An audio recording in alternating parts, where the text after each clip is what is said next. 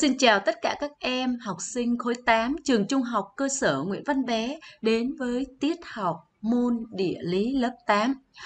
Trước khi vào bài, cô và các em sẽ sang một phần trò chơi khởi động và món kỳ diệu.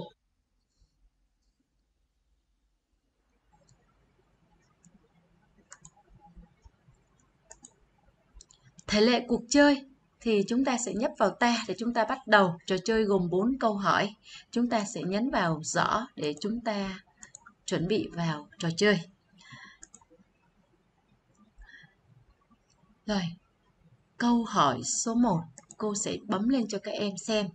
Câu 1, Đông Á gồm mấy bộ phận? Tiếp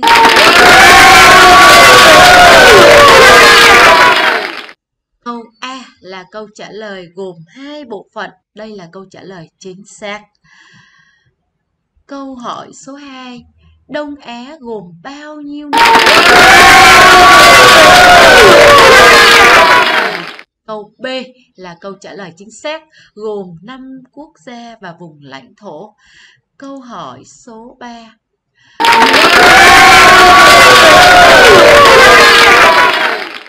Đó là T là Nhật Bản. Câu số 4. Trung Quốc quốc gia có dân số đông nhất châu Á. A. Trung Quốc B. Indonesia C. Liên bang Nga Vậy câu nào là câu trả lời chính xác vậy các em? Đó chính là A là Trung Quốc. Như vậy chúng ta vừa tìm hiểu ở phần các nước ở Đông Á. Vậy các nước Đông Á có đặc điểm dân cư, kinh tế, xã hội phát triển như thế nào? Chúng ta sẽ đi tìm hiểu bài 13 tình hình phát triển kinh tế xã hội khu vực Đông Á. Nội dung của bài học hôm nay gồm có hai phần. Phần thứ nhất đó là khái quát về dân cư và đặc điểm phát triển kinh tế khu vực Đông Á. Phần số 2, đặc điểm phát triển một số quốc gia ở Đông Á. Chúng ta sẽ đi vào phần số 1, khái quát dân cư và đặc điểm phát triển kinh tế khu vực Đông Á. A, đó là dân cư. Trước tiên, chúng ta sẽ nhìn cho cô lên màn hình để chúng ta thấy quốc gia nào có diện tích lớn nhất ở Đông Á đây. Đó chính là Trung Quốc. Quốc gia có diện tích đứng thứ hai đó là quốc gia nào vậy các em? Đó chính là Nhật Bản. Quốc gia đứng thứ ba đó chính là Triều Tiên. Quốc gia đứng thứ tư đó là Hàn Quốc. Đó là về các quốc gia về diện tích ở Đông Á. Vậy Trung Quốc là quốc gia có diện tích lớn nhất. Như vậy, nhưng dân số của các nước Đông Á thì như thế nào? Có đông như, có lớn như là diện tích không? Chúng ta sẽ quan sát lên bảng số liệu sau đây. Cô sẽ cập nhật hai số liệu. Số liệu trong sách của giáo khoa của các bạn là năm 2002 và cô cập nhật thêm số liệu năm 2017. Thì các bạn thấy là Trung Quốc năm 2017 là 1 tỷ 42,5 triệu người. Nhật Bản là 126,1 triệu người, Triều Tiên là 25,8 triệu người, Hàn Quốc là 50,7 triệu người. Vậy thì em hãy cho biết dân số Đông Á năm 2017 là bao nhiêu? Thì các bạn sẽ cộng lại bấm máy vô cho cô.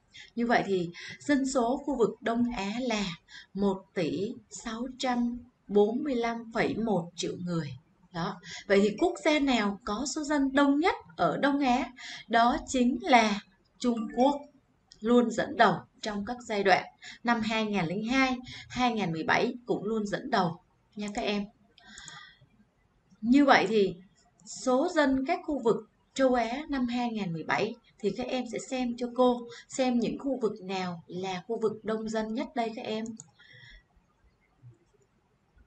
Đông dân nhất đó là Nam Á 1 tỷ 752,9 triệu người. Dân đông thứ hai đó chính là Đông Á 1 tỷ 645,1 triệu người như vậy Đông Á là khu vực có số dân rất là đông, đứng thứ hai cho so với các khu vực của châu Á.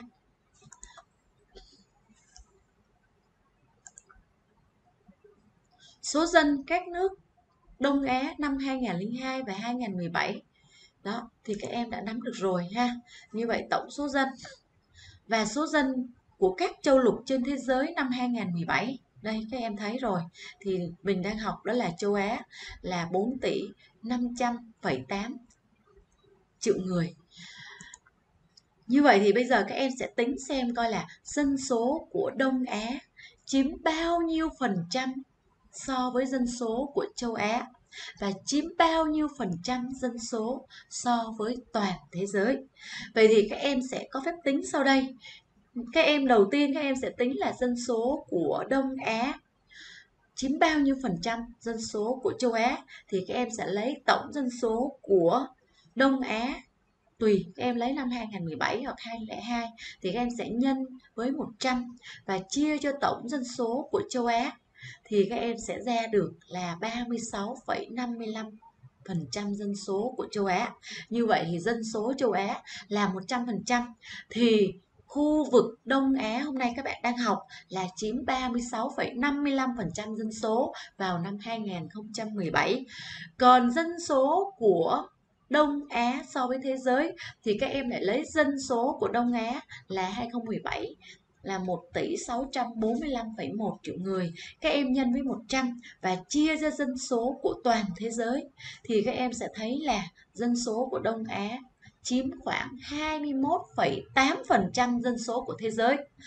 Riêng một đất nước có số dân đông nhất trên thế giới đó chính là Trung Quốc. Nó đã chiếm 1 tỷ 442,5 triệu người. Đó là năm 2017 rồi thì các bạn thấy là dân số của Đông Á khá là đông và dẫn đầu đó là nước Trung Quốc. Và đây là các em sẽ nhìn những khu vực đông dân của châu Á thì đầu tiên mình thấy là dẫn đầu đó là Nam Á, đứng thứ hai phải nói đến đó là khu vực Đông Á. Đó, các em sẽ thấy những cái chấm này đây, đó là những khu vực đông dân ha của châu Á, phân bố dân cư của châu Á về cái uh, những cái hình ảnh thì các em thấy là những người ở Đông Á thì họ ăn cơm bằng đũa, họ uống trà, rồi đây là tự Cấm Thành, đây là đền thờ ở Hàn Quốc, đây là đền thờ ở Nhật Bản ha. Rồi những cái hình ảnh trang phục dân tộc của các quốc gia, chẳng hạn như là áo kimono của Nhật Bản, rồi đây là áo của Trung Hoa, áo Thượng Hải đó các em. Rồi đây là áo hanbok của Hàn Quốc, rồi đây là trang phục của Triều Tiên đó là áo ờ, dân, tộc của các em ha. Thì Việt Nam phụ nữ thì là áo dài là truyền thống ở Việt Nam. Còn các nước này thì họ cũng có cách uh, trang phục thì cô nhìn thấy nó cũng hơi hơi có một cái nét hơi giống nhau. Đó là họ là những cái nền văn hóa của các quốc gia ở Đông Á đó các em ha. Như vậy trong phần này các em có thể ghi nhận đó là dân cư. Là khu vực có số dân rất đông là một tỷ 645,1 triệu người năm 2002 và chúng ta đi tiếp sang cái đặc điểm phát triển kinh tế của các nước Đông Á. Thì các em sẽ nhìn cho cô bảng 13.2 xuất nhập khẩu của một số quốc gia Đông Á năm 2001 tỷ USD.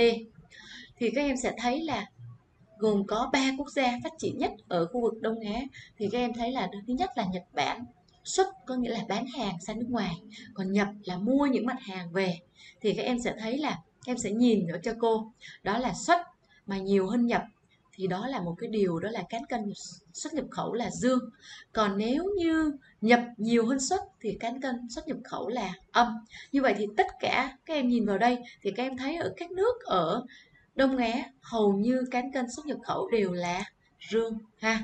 Như vậy đối với ở Nhật Bản là dương 54,41 còn ở tại Trung Quốc là 23,1 tỷ USD, rồi ở Hàn Quốc là rương 8,9%, 8 8,9 tỷ USD, đó là ở Hàn Quốc. Như vậy đây là cái nền kinh tế của họ rất là là là phát triển hiện nay. Cho nên là đây là những cái hình ảnh mà thể hiện lên cái, cái, cái việc xuất nhập khẩu mua bán trao đổi hàng hóa rất là tốt ha như vậy, xuất lớn hơn nhập thì đây là xuất siêu, còn nhập lớn hơn xuất là nhập siêu. Như vậy, sản xuất không đủ thì phải nhập của nước ngoài. Thì trước đây thì họ phải nhập của nước ngoài, nhưng sau đó thì các mục tiêu của các nước Đông Á là họ phải sản xuất ra, phải tự sản xuất ra, thay thế hàng nhập khẩu, không nhập khẩu nữa để bớt mang tiền ngoại tệ sang để mua về nước, từ nước ngoài về mà thay thế những mặt hàng đó. Và họ để sản xuất ra mặt hàng để mà họ xuất khẩu. Thì đó là cơ chế của các nước Đông Á. Họ đã làm được, họ đã thay thế như vậy đó các em như vậy sơ đồ quá trình phát triển sản xuất của Đông Á ha. Và bây giờ thì các em sẽ nhìn vào đây cho cô. Đây là Đông Á và các nước đã được phân chia theo cái nền kinh tế. Thứ nhất là nước phát triển cao nước công nghiệp mới nước có tốc độ tăng trưởng cao, nước đang phát triển. Thì các em sẽ sắp xếp các quốc gia theo các nhóm nước cho đúng cho cô. Như vậy, nước phát triển cao, như vậy đây là nhóm nào đấy các em? Đầu tiên phải nói đó là Nhật Bản, là nước phát triển cao. Nước thứ hai đó là Trung Quốc, là nước có tốc độ tăng trưởng cao. Còn những nước công nghiệp mới, bữa trước chúng ta đã học ở bài số 8 rồi, đó là nước công nghiệp mới thì phải nói là Đài Loan và lãnh thổ vùng đó là nước Hàn Quốc và lãnh thổ Đài Loan ha. Còn nước mà đang phát triển đó chính là Cộng hòa Dân chủ Triều Tiên là nước đang phát triển. Đó là về cái tốc độ và cái phân ra cái nhóm nước ở Đông Á, thì các em thấy là Nhật Bản dẫn đầu. Tiếp theo nữa là hiện nay là Trung Quốc cũng khá là phát triển, tăng trưởng cao. Rồi công nghiệp mới đó là Hàn Quốc và Đài Loan. Ha, chỉ có Triều Tiên thì nó chưa phát triển được như các nước ở Đông Á thôi, ha như vậy thì về kinh tế xã hội, sau chiến tranh, nền kinh tế xã hội các nước Đông Á đã kịch quệ. Và ngày nay, các nước trong khu vực có nền kinh tế phát triển nhanh, tốc độ tăng trưởng cao, có vai trò quan trọng trong nền kinh tế thế giới. Và chúng ta đi tiếp sang phần số 2 đặc điểm phát triển kinh tế của một số quốc gia ở Đông Á. Chúng ta sẽ đi tìm một vài nước đặc trưng nhất ở Đông Á nha các em. Vậy thì nước đầu tiên cô muốn đề cập đến đó chính là Nhật Bản. Ha các bạn.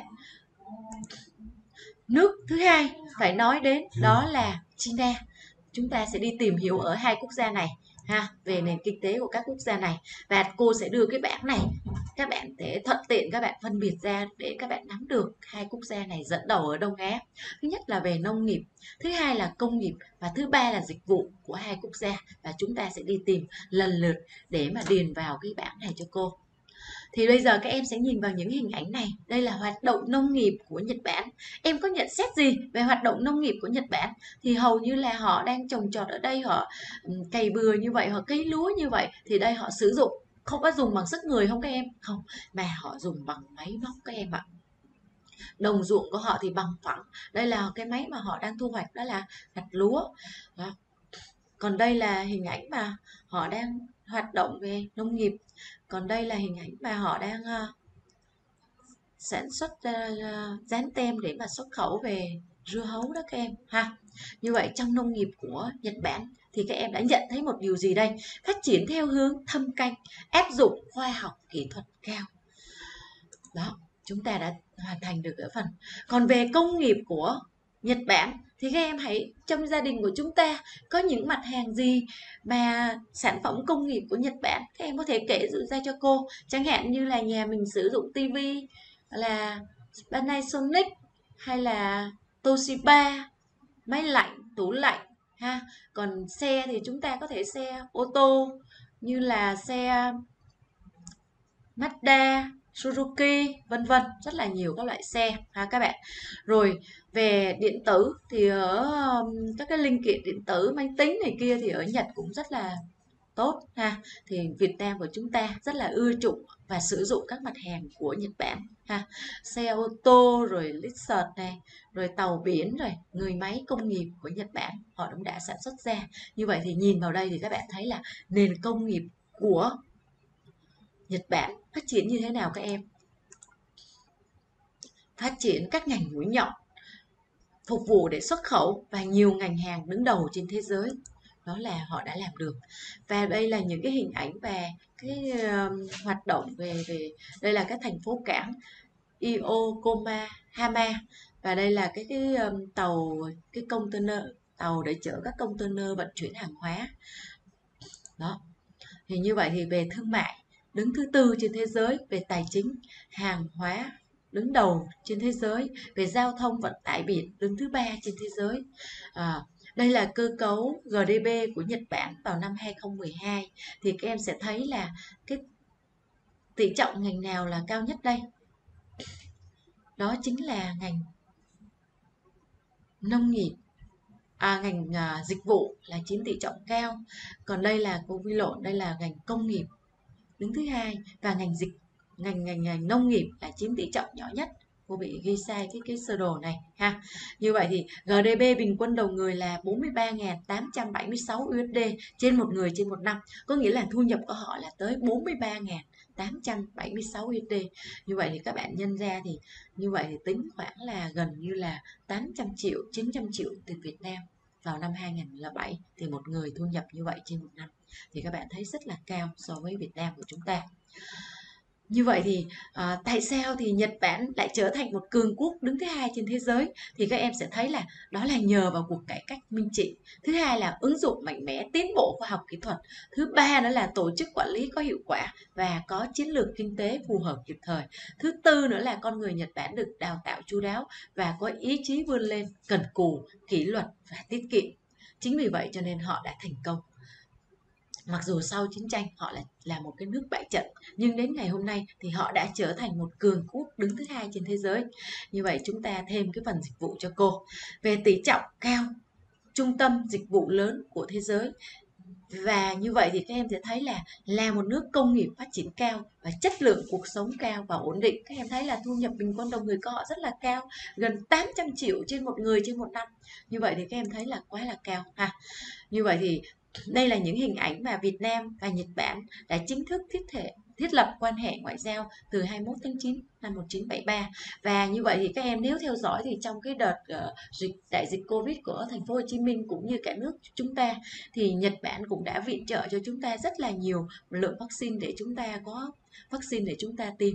À như vậy thì đó là những cái điều mà họ đã làm cho chúng ta quan hệ với nhau rất là tốt ha. Theo thống kê của Tổng cục Hải quan Việt Nam, trong 9 tháng năm 2018, tổng giá trị xuất nhập khẩu giữa Việt Nam với Nhật Bản đạt tới 27,598 tỷ USD, trong đó xuất khẩu hàng hóa từ Việt Nam sang Nhật đạt 13, 728 tỷ USD, tăng 11,5% so với cùng kỳ và nhập khẩu hàng hóa từ Nhật Bản là 13,870 tỷ USD, tăng 14,6%. Trong các năm qua, thì Nhật Bản luôn nằm trong nhóm các đối tượng thương mại lớn của nước ta. Một quốc gia thứ hai mà chúng ta sẽ đi tìm hiểu đó chính là Trung Quốc. Thì đây là những cái hình ảnh về hoạt động ờ, nông nghiệp của Trung Quốc. Thì các em sẽ thấy là đây là hình ảnh mà họ trồng lúa này, rồi tàu bè của Trung Quốc này, chăn nuôi theo hình thức công nghiệp hóa này, máy móc đang đi gặt lúa đây các em. Như vậy thì họ cũng đã công nghiệp hóa trong ngành nông nghiệp về các sản phẩm về công nghiệp của Trung Quốc thì các em nhìn vào đây thì các em thấy là Trung Quốc cũng đã sản xuất ra xe hơi, sản xuất ra điện thoại và đặc biệt là mạng 5G, 6G của hãng Huawei, uh,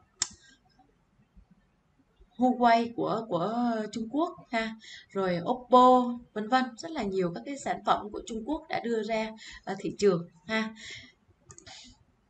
Và những cái hình ảnh này các bạn thấy là khi cuộc đua vũ trụ bắt đầu vào cuối những năm 1950, lãnh đạo Trung Quốc khi đó là Mao Trạch Đông đã từng tuyên bố chúng ta cũng sẽ tạo ra những vệ tinh chỉ mất hơn 10 năm để Trung Quốc phóng vệ tinh đầu tiên ờ, Đông Phương Hồng 1 vào ngày 24 tháng 4 năm 1970. Trung Quốc quốc là nước đầu đưa vệ tinh lên vùng tối của mặt trời trăng vào ngày 3 tháng 1 2019 và đặc biệt thì các em thấy là Trung Quốc còn làm ra những là tàu sân bay ở ngoài cảng ngoài biển luôn các em như vậy thì Trung Quốc những năm gần đây thì họ cũng đã uh, luôn luôn và phát triển ha không ngừng thì đây là sản lượng một số sản phẩm nông nghiệp công nghiệp của Trung Quốc giai đoạn 2001 2015 đơn vị đó là triệu tấn. Thì các em sẽ thấy là lương thực, than dầu dầu mỏ, thép của họ cũng đã tăng trong giai đoạn từ 2001 cho đến 2015 đó, lương thực đã tăng rất là nhanh, than cũng đã tăng, dầu mỏ cũng đã tăng và thép cũng tăng lên rất là nhiều, ha và những cái hình ảnh này thì các em đã thấy được. Đó là một ờ, đất nước Trung Quốc hiện nay thì cũng đã phát triển ờ, du lịch rất là nhiều dựa vào những cái ờ, nơi những cái thành những cái uh, địa danh ha để mà nổi tiếng đó để mà thu hút khách du lịch đến đây. Như vậy thì chúng ta thấy là phát về nông nghiệp phát triển nhanh và tương đối toàn diện đặc biệt là họ cung cấp gần như đủ lương thực cho số người, hơn một tỷ người như vậy. Và thứ hai là công nghiệp thì nền công nghiệp hoàn chỉnh, nhiều ngành hiện đại. Và dịch vụ thì tỷ trọng tăng, phát triển mạnh. Như vậy thì ờ, có thể đúc rút ra nhiều ngành đứng đầu thế giới, tốc độ tăng trưởng kinh tế cao và ổn định như vậy vừa rồi chúng ta cũng đã tìm hiểu về hai quốc gia à, nổi bật ở khu vực Đông Á đó là Nhật Bản và Trung Quốc. Như vậy thì chúng ta đã hoàn thành xong về nền kinh tế của các nước Đông Á và bây giờ thì cô có cái phần luyện tập sau đây.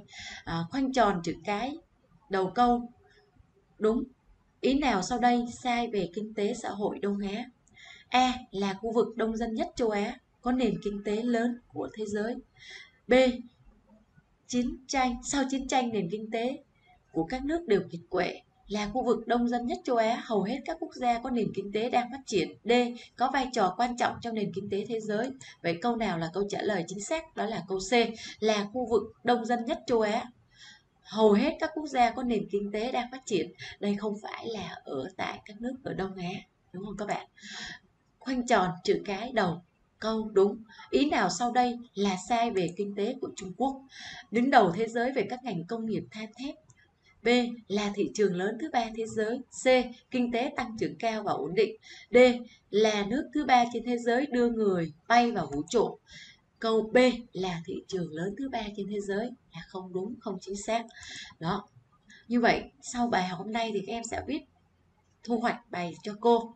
Thứ nhất, đó là đề xuất cho giáo viên những tiết học địa lý sau hay hơn nữa. Điều thứ hai, em muốn tìm hiểu thêm và liên quan đến bài học này.